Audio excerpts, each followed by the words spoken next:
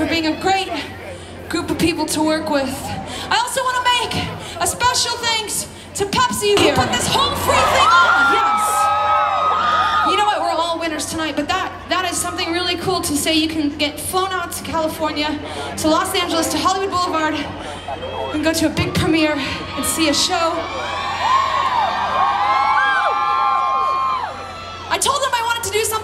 Special, and I hope this is special enough for you guys. This next song is a little song that I wrote for this movie. It's a song called Wide Awake.